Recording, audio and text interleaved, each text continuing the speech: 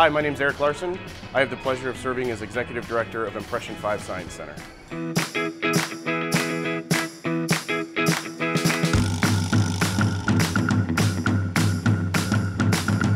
Impression 5 Science Center is a space specifically for families to engage in science. So we've created an opportunity for them to play with science, create ideas and things using science, and challenge their understanding of science in a really cool, comfortable, and dynamic environment.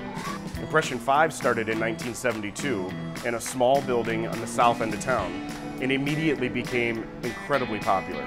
In the late 70s, Impression 5 was courted to come downtown into the core and help revitalize the area. We came here today because I have always loved Impression 5. I remember as a kid I was here for a science camp in elementary school and that was uh, when I formed my strong memories of uh, Lansing and especially Impression 5 Museum.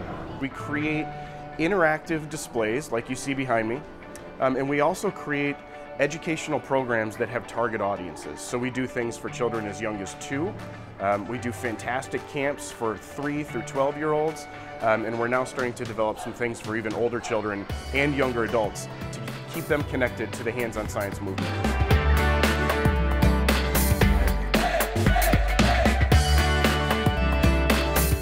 Through the last three or four years in Impression 5, we have created a new reinvention process.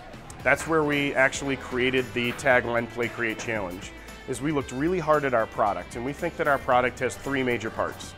We want to create awesome exhibits, we want to have fantastic educational programs, and we want to do it in a really cool facility. So as we looked at all of those assets, if you will, we realized we were missing the boat. We needed to redevelop what we were doing. In the last three years, we've opened five brand new exhibits. We've invested over a million dollars into the Science Center to create awesome exhibits that you're not going to see anywhere else. And the, the way that we're doing that is we're using a process, a design build process right here at the Science Center that engages the community and employs people right here in town to build this stuff. For example, our new Spectrum exhibit has a life-size Lite-Brite machine in it. We actually can't call it Lite-Brite, it's a light mosaic. And that light mosaic allows multiple children to engage in building a light sculpture at the same time. But every piece of that exhibit was designed and tested and fabricated right here on site. So you're not going to go anywhere else in the country and see a, an exhibit like that. And we're really proud of that, and we feel like that's the real future of Impression 5.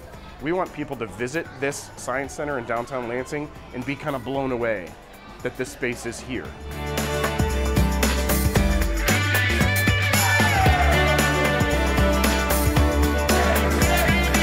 My name's Eric Larson, and I'm the Executive Director of Impression 5 Science Center in downtown Lansing, and you're watching Michigan Destinations.